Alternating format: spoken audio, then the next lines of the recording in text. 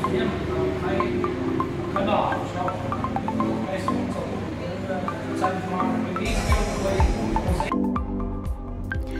มื่อเวลา 19นาฬิกา30 นาทีของเมื่อวานนี้ค่ะ 1 พฤศจิกายน ที่ร้านอิตาลาเซียพัทยา เลขที่6ทับ29ถึง30 หมู่ที่ 6 ตำบลนาเกลือ มิสเตอร์แม็กซอสแวนิตกรรมการผู้จัดการร้านอิตาลาเซีย ซึ่งเป็นร้านตัวแทนจำหน่ายผลิตภัณฑ์วิสกี้ Camus Asia Pacific Director อีกทั้งยังจำหน่ายอุปกรณ์เครื่องใช้ในร้านบาร์เบียร์อาทิแก้วรูปทรงต่างๆ เครื่องชงกาแฟ อีกทั้งจำหน่ายสาเกนำเข้าจากประเทศญี่ปุ่น น้ำแร่ธรรมชาติจากอิตาลี พร้อมแนะนำผลิตภัณฑ์ Camus ทั้ง 5 ชนิด มาให้ชิมกันต่างละชนิด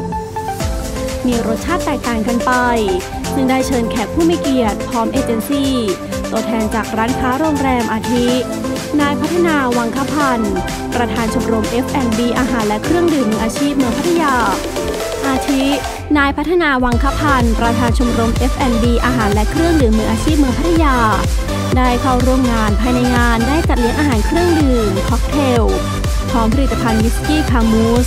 แต่ละชนิดให้ชิมกัน และเมื่อเวลา 20 นาฬิกา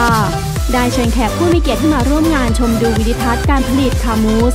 และภาชนะบรรจุขวดในรูปทรงต่างๆ ในการหมักบ่มด้วยกรรมวิธีที่พิถีพิถัน จนได้รับรางวัลเหรียญทองจากรัฐซานฟรานซิสโก ประเทศสหรัฐอเมริกาค่ะ